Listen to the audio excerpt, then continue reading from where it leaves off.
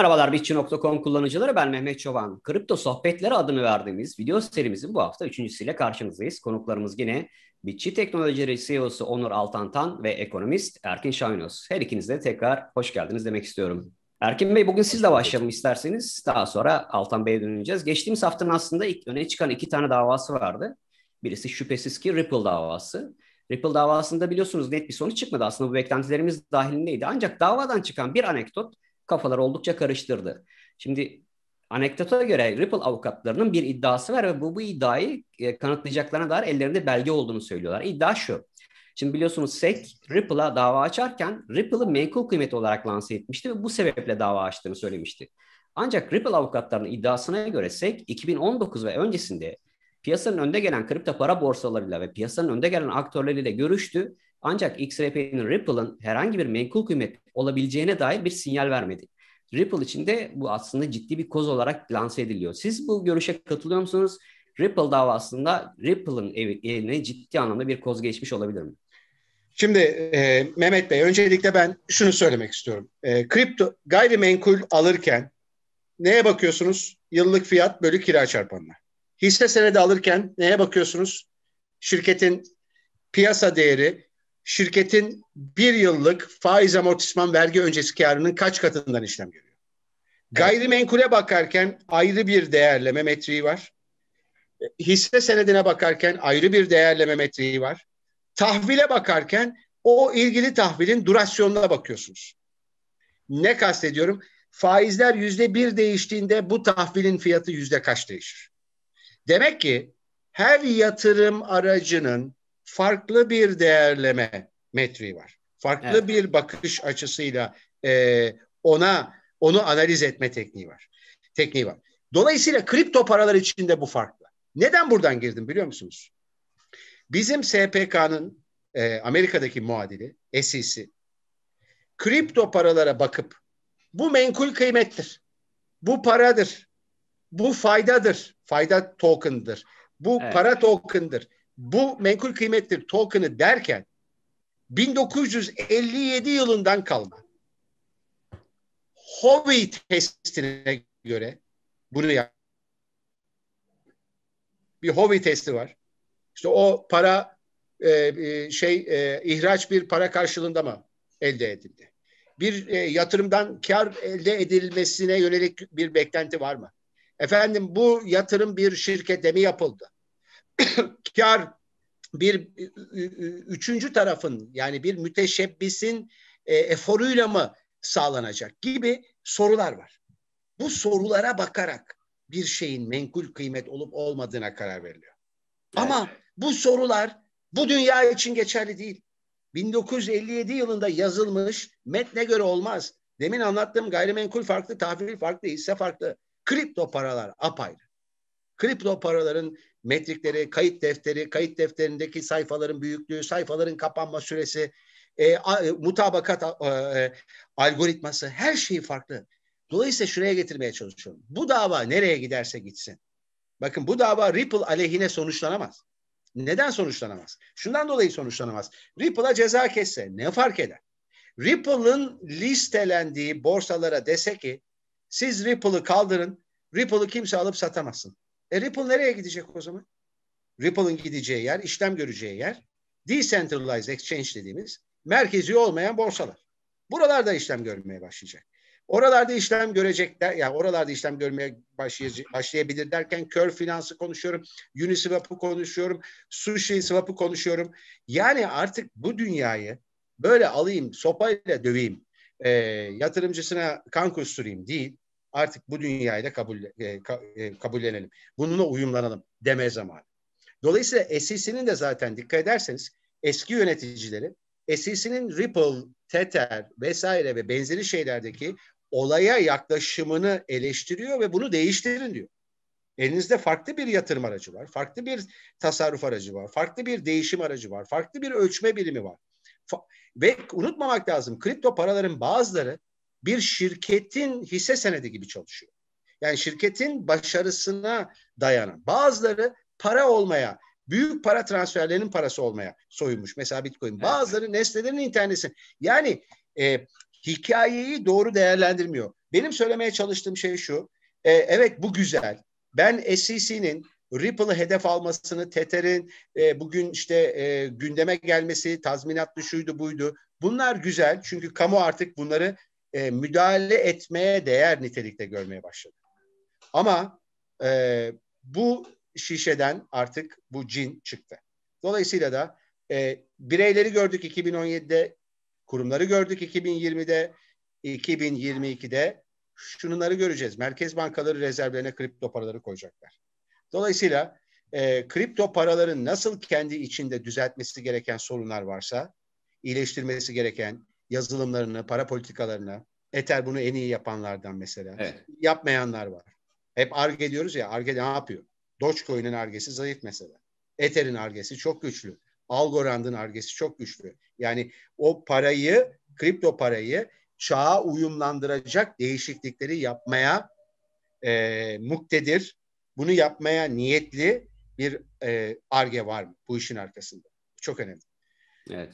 Altan Bey size dönmek istiyorum. Geçtiğimiz haftanın öne çıkan bir başka davası da Tether davasıydı. Biliyorsunuz anlaşma çıktı ve 18,5 milyon dolarlık bir tazminat söz konusu. E, bu davayı nasıl değerlendiriyorsunuz? Yani Tether aklandı mı sizce? Evet, bence Tether aklanmadı. Ee, burada e, biliyorsunuz ki e, Tether bir e, stable token ve karşılığı dolara endeksli. Evet. Fakat karşılığında piyasada dolaşan Tether kadar bir dolar da bulunmuyor. Burada bu sefer bir tazminatla 18,5 milyon dolarlık bir tazminatla sadece durum geçiştirildi. fakat bu sıkıntının ileride tekrar devam edeceğinin de sinyalini verdi. şimdi burada aslında en büyük problem şu. Kripto para yatırımcıları genelde Bitcoin olsun, diğer altcoin'ler olsun alım satım yaparken Tether kullanıyorlar. Ve bu da Tether'in e, bir likidite sorununu ortaya çıkarmasına sebebiyet veriyor. Nedir bu likidite sorunu? E şimdi sonuçta nasıl ki geleneksel piyasa, geleneksel finans sisteminde e, endekslerle ilgili şu an e, dünya üzerinde sıkıntılar gündemde. Nedir doların endeksi nedir sorusu var. E, evet. Neye basılıyor gibi. E, kripto paralarda bu adetlere bağlı biliyorsunuz. E, limitli adetlere bağlı e, çalışan e, blok zincir teknolojisinin bize sunmuş olduğu bir altyapı var. E, burada Tether'in karşılığının olmadan bu şekilde e, üretilerek kullanılması ki ilk başlarda karşılığı olduğu iddia ediliyordu ama e, bunun da çok doğru olmadığı ortaya çıktı.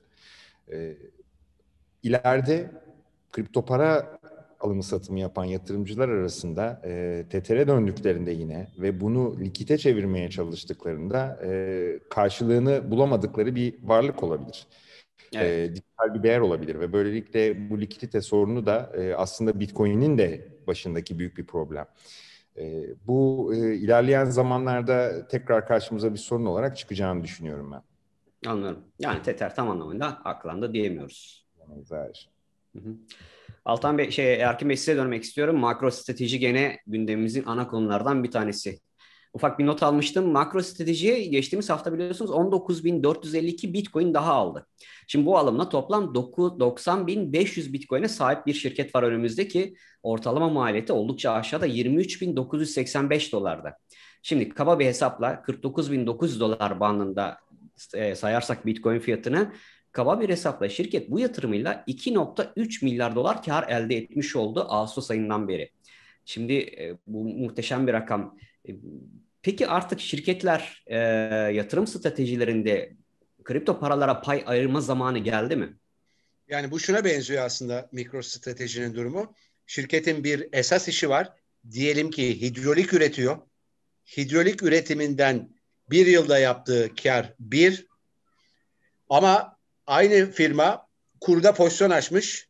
Kur farkı karından e, elde ettiği orası birken burası o. Evet. Stratejinin hikayesi bu. Parasını, nakit fazlasını e, firmalar artık e, nerede yönetelim dediklerinde bu sadece yurt dışındaki firmalar için konuşuyorum. Dolardı, euroydu, pound'tu. Özel sektör tahviliydi, devlet tahviliydi. Bundan sınırlı kalmış. Artık Türkiye'de bile bazı firmalar sormaya başladılar. Bizzat şahsıma. Hocam nakit fazlamız var. Bunu acaba kripto paralarda değerlendirebilir miyiz? Soruları gelmeye başladı. Bir gün birisi yapacak. Ama bunun için Hı. bu işin muhasebesi, bu işin mevzuatı. Şimdi ben bazen sosyal medyada e, kendi hesabımdan da soruyorum.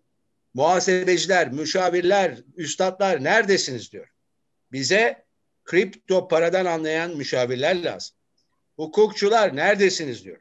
Bize kripto paradan anlayan, bu işe hakim hukukçular lazım. Dolayısıyla hem yeni meslek alanlarının oluşumu açısından çok önemli. Evet. Hem bu mikro stratejiyle başlamış bir trend. Yalnız bir şey söylemek istiyorum. Ee, şunu görmeyeceğiz artık.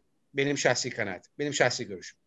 Mikro strateji ben 500 bitcoin daha aldım. Ya da Amazon ben de 250 tane aldım dediğinde daha önce dendiğinde yarattığı o olumlu etkiler artık olmayacak. Artık bunların etkileri evet. gene olumlu olur ama sınırlı olur. Neden biliyor musunuz? 2008-2009 krizini yaşayanlar bu dediğimi çok iyi anlayacaklar. Bir gün e, ben o zaman e, mailingle e, e, yorumlarımı paylaşıyordum geniş kitlelere Türkiye'de. 2008 bir gün bir e-posta attım. Artık 2008-2009 krizinde o batmış, bu batmış, şu banka gitmiş, Lehman Brothers gitmiş, o, o hedge fon batmış, bu hedge fon batmış. Bad news are out of the way. Kötü haberler artık kalmadı. Batacak kalmadı. Bu da şuna benziyor bu tarafta. Burada da good news are out of the way. Yani kurumlarla ilgili gelen güzel haberler. Tesla destek oldu, o destek oldu, bu destek oldu. Tamam artık. Bu kurum hikayesi fiyatlara girdi. Yani kurumların talebi, Grayscale yatırım ortaklığı üzerinden de e, işte esas işi kripto para olmayan firmaların, blok zinciri olmayan esas işi, blok zinciri argesi olmayan firmaların kripto para alımlarını, bunların açıklanması falan bunlar harika ama bu kurum hikayesi artık fiyatlara girdi.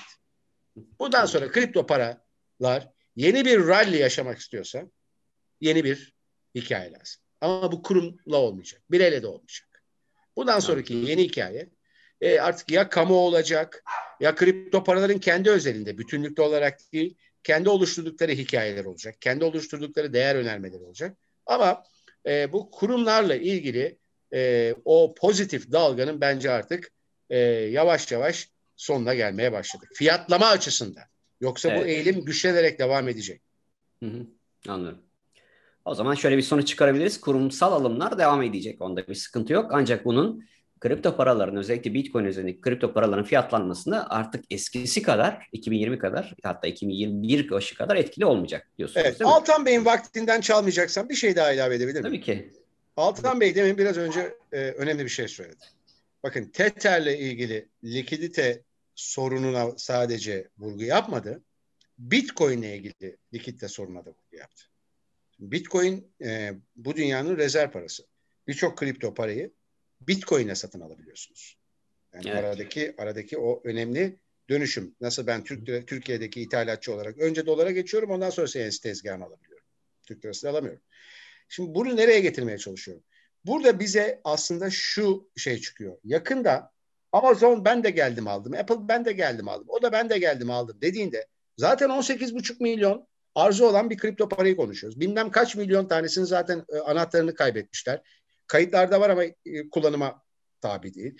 Alanların evet. büyük bir kısmı borsalardan bunu cüzdanlarına, şahsi cüzdanlarına çekmiş. Dolayısıyla likitte tarafında hani bu tarafta arz tarafında çok büyük bir bitcoin şeyi yok. Ee, büyüklüğü yok. E, bunlar da ben de alıyorum ben de alıyorum dediğinde ne olacak? E, Bitcoin'in arzıyla ve likiditesiyle ilgili sıkıntı olacak. O zaman yatırımcılar şunu soracaklar. Bakın burası çok önemli. Buraya özellikle bugün vurgu yapmak. Bugünün en önemli mesajı bence bu. Bitcoin dışında Bitcoin kadar güvenli başka neler var?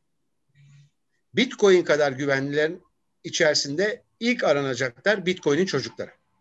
Bitcoin'in çocuklarından da kastım Bitcoin Cash, Litecoin ve benzerler. Dolayısıyla e, Bitcoin'deki sıkışıklığın, Altan Bey'in belirtmiş olduğu sıkışıklığın ben e, Bitcoin Cash ve Litecoin öncelikli olmak üzere hı hı. E, bu dünyaya yansımasının olumlu olacağını düşünüyorum.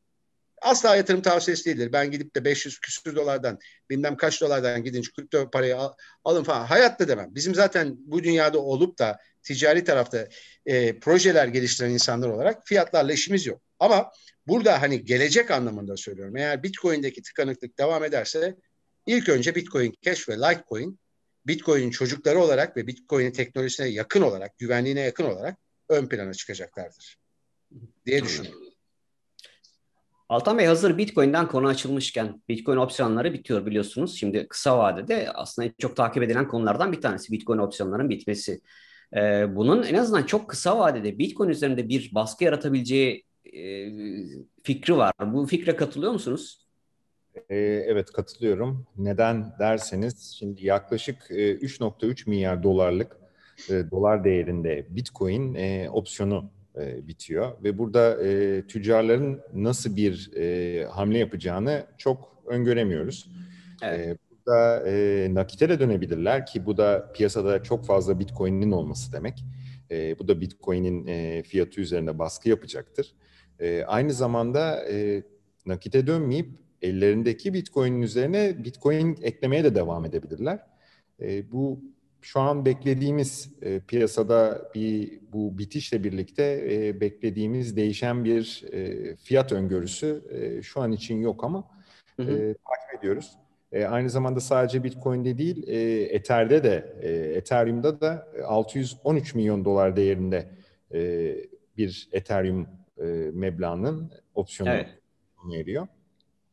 takip edeceğiz yine günün devamında ve e, göreceğiz fiyatlardaki baskıyı, Bitcoin'in üzerinde baskı oluşturup oluşturmayacağını, tüccarların nasıl bir aksiyon alacağını e, devamında görüyor olacağız. Anladım. Erkin Bey tekrar size dönmek istiyorum. Şimdi geçtiğimiz haftanın haberleri gezerken ilginç bir haber gözüme çarptı. Goldman Sachs'ın açıklamalarıyla ilgili. Goldman Sachs biliyorsunuz Bitcoin'in en büyük rakibi bu hani e, güvenli liman sıfatı konusunda altınla sürekli olarak al gülüm ver gülüm yapıyorlar. Şu anda altında hala duruyor güven liman e, sıfatı ama şimdi Goldman Sachs diyor ki altın ve Bitcoin'in her ikisinin her iki varlığında büyümesi için elverişli bir ortam var diyor ve ne altın ne de Bitcoin birbirlerinden pay çalmayacaklar diyor. Siz buna katılıyor musunuz? Beraber büyüyebilirler mi gerçekten? Ben e, yani bu görüşe dolaylı yoldan e, katılıyorum. Neden dolaylı yoldan katılıyorum? Bence çok geç gelmiş bir açıklama. Hem e, Bitcoin'e yeteri kadar zamanında ve e, güvenememiş hem de altını e, zamanında yeteri kadar e, e şöyle söyleyeyim altın 3 milyar yaşında bir yatırım aracı. Evet. 3 milyar. Bir kere Bitcoin zaten e, kripto para dünyasının altın olarak kabul ediliyor. Bitcoin ve altın arasında çok önemli benzerlikler var. Bitcoin de devletsiz bir para. Altın da devletsiz bir para. Bitcoin'in de arzı sınırlı. Altının da arzı sınırlı. Bitcoin de apolitik bir para. Altın da apolitik bir para. Bitcoin'in de bir para politikası var. Kurala dayalı. Evet. Altının da neredeyse şartlardan dolayı kurala dayalı bir e, para politikası var. Dolayısıyla Bitcoin ama e, şu tez doğru bir tez değil. Her ikisi de her ikisi de e, neyi vaat ediyor? Her ikisi de şunu vaat ediyor. Aslında teknik olarak biz arzı sınırlı e, ve kıymetli ve bakın bu çok önemli bu söyleyeceğim. üretiminde emek sarf edilen şeyleriz. İş ispatı. E, Bitcoin network'ünde kullanılan kayıt defterini tutanların yani Bitcoin'in bankalarının bir sayfada mutabık kalmak için kullandıkları algoritma iş ispat algoritması. Ve evet. burada kayıt defteri tutucular bir sayı bulmak zorunda. Buna nons deniyor.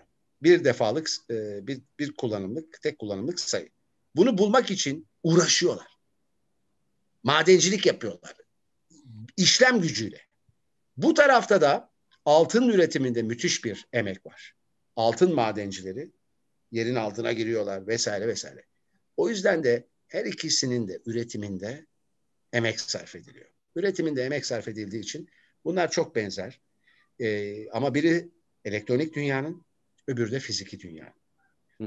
Bildiğimiz ons altın fiziki dünyanın, e, Bitcoin'de e, sanal alemin, dijital dünyanın altını olarak yoluna devam edecektir. Ben bir tarafın tarafa gelen talebin öbür taraftan çalacağını düşünmüyorum.